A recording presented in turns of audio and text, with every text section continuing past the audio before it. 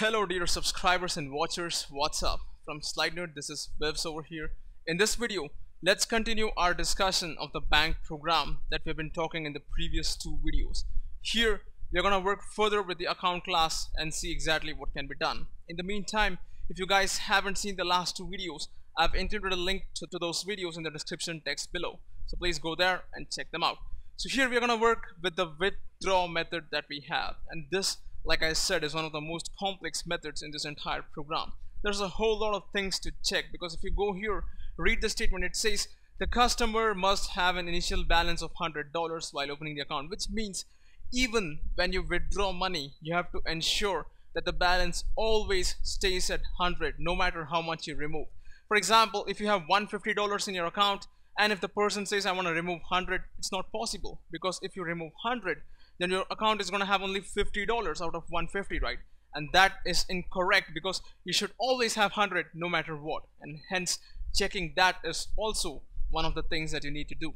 Also there's another thing over here that says the bank does not charge any fees for the first withdrawal but for all subsequent withdrawals the bank charges some transaction fees. Now this again complicates the process of withdrawing money because we have to check if it is the first time or if it is a subsequent time and do some steps based on that. So just to write half of the withdraw method. I've written some statements over here just to make you guys understand what is going on. First time we need a parameter here that says how much money the user wants to withdraw. I'm gonna say double how much over here just like what I did for the deposit. Now we need to check the first thing if this is the first time the user is trying to withdraw or not because based on that itself there's gonna be a whole lot of steps that we have right? Then there is also the case where it says check if the money is positive and money is negative. So let's start with the positive and negative thing first because if the money is negative it doesn't even matter whether it's the first time or the subsequent time. You cannot withdraw negative money right? So that would be the topmost condition. So I'm gonna say if over here and I'm gonna say how much is greater than zero so if the money how much that the user wants to withdraw is positive that's greater than equals to zero then perform the withdrawal. Otherwise simply say a message that you simply cannot withdraw money right? We can directly put a system.error.println over here. So now if the money is positive then comes the question of whether it's the first time or is it the subsequent time. That is something we need to check. Now how would we do that? Now we can use a simple boolean variable that tests whether it's the first time or not. So I'm gonna go here to the class account and right here I'm gonna make another variable saying private boolean. I'm gonna say first time equals to true which means it indicates that this is the first time. So inside this how much greater than equals 0 where we have proved that the money is positive I'm gonna check that condition by saying if first time equals equals true then perform the steps for removing money for the first time. Otherwise perform the steps for removing money the subsequent time. So that is the simple problem that we have right now. So at this point we are inside this if statement which says if the money is positive and if this is the first time you're trying to remove money then what to do next? Here we need to take care of one more thing. Remember the minimum balance should always be hundred dollars. That means if you have a balance of $100 in your account and if you try to remove anything even one dollar it is not possible. But otherwise you can remove money right? So we need to check that condition. So how do we do that? Well very simple. Let's make a variable called temp that's gonna simply or we can say temp balance that contains the same value as balance. In other words I haven't done nothing great.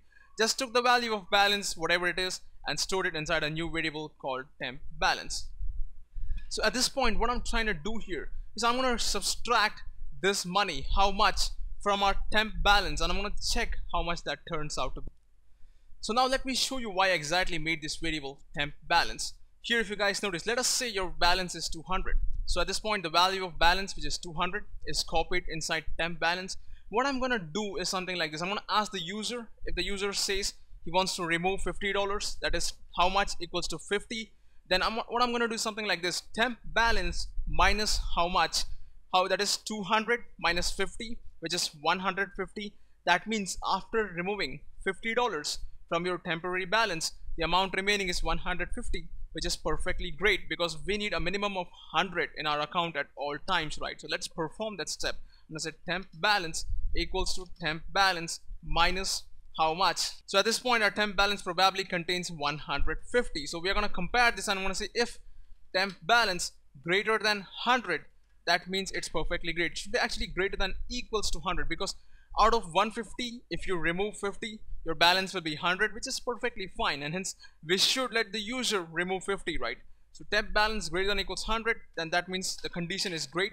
Otherwise the condition is not good. Now let's see a bad condition over here. So now let's talk about the bad condition. Let's say your balance is 200 and let's say temp balance at this point becomes equal to balance which also contains 200 right then if how much or the amount of money that you want to withdraw let's say it's 150 then temp balance minus 150 it's gonna be 50 over here right? That means your temporary balance is 50 and that means after removing the money of 150 your account will only contain $50 which is not acceptable. That means you cannot perform the transaction right? And hence we'll go to the else condition where we'll simply say that insufficient balance to remove something like this let me write a system.error.println over here. Just to mark everything in red I'm gonna go here and say insufficient balance to remove something like this. But let's say things turn into our favor. So what we want to do is make our actual balance variable over here to contain the new money that we have after removing the sum right? That means here we perform the actual step. We say balance equals to balance minus how much this is one of the ways you can do it. Otherwise you can also say balance equals to temp balance but I prefer this one for now to keep things very clear. So the idea is we don't modify this balance variable the first time. What we simply do is copy its value into some other variable called temp balance and we try to do the same thing with this variable temp balance but trying to remove the money from that and seeing if that is greater than 100 or not. If that's greater than 100 that means even after removing the money the amount of money that we may have in our account is 100 plus and that is good. And hence we perform the transaction on the actual balance variable. Otherwise we simply print a message saying insufficient balance to remove kind of stuff. So this was all for the first time you perform the transaction. Now let's talk about what happens when we do this the subsequent time. Everything we discussed so far is gonna be same but in addition to removing just the amount of money the, the user has uh, asked to withdraw. We're also gonna subtract the transaction fees that the bank has specified. Now if you guys remember the bank class over here has this variable transaction fees of 10 which means for every subsequent withdrawal other than the first time you're also going to remove this $10 which is going to go to the bank right? So we have to subtract that as well. So now let's go here and write the same code so if first time is equals equals true at this point we have executed everything over here. Now at the bottom of this else condition when everything is done it's our responsibility to specify that we have performed the first transaction. That means first time is not true anymore. Now this is a common stuff that occurs in Java. So the first time you run this it's gonna go to this if condition. It's gonna say first time is true. All these statements are gonna run and then first time will become false. The next time you run this method over here this is not gonna go to this if condition at all. It will go to this else condition and the conditions or the statements inside this will start running. Here let's do the same thing. I'm gonna say double temp balance equals to balance the same thing. Copy the balance value inside this.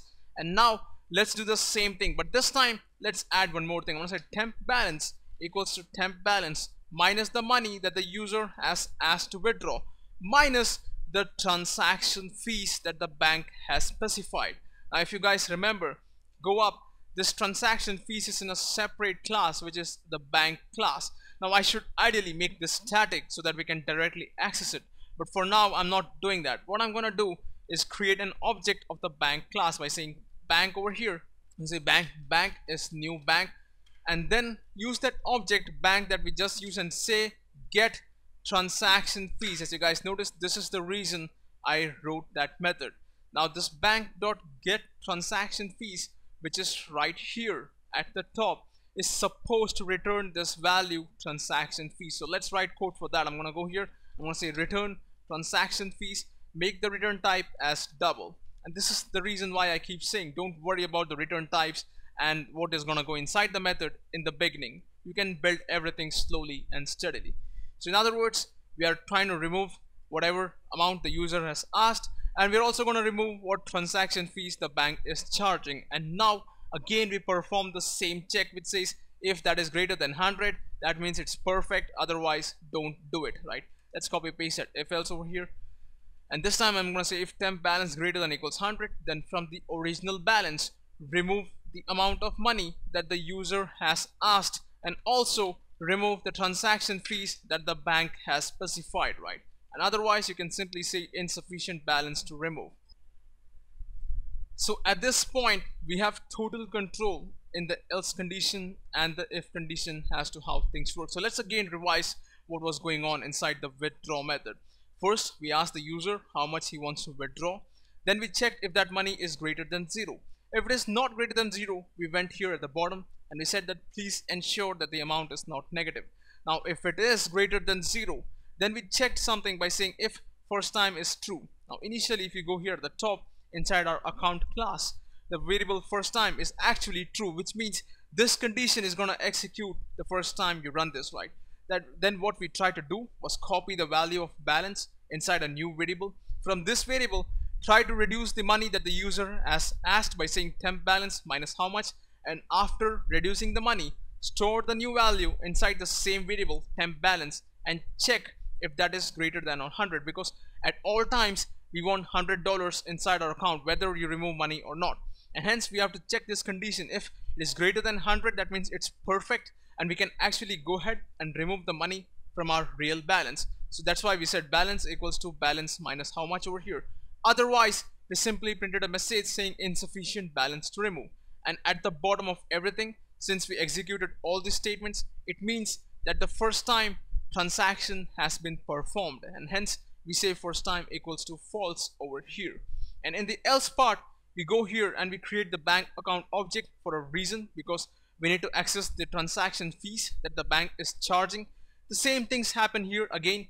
We try to remove the money that the user wants and the money that the bank is going to charge for the transaction fees from the temp balance which is nothing but a copy of our actual balance.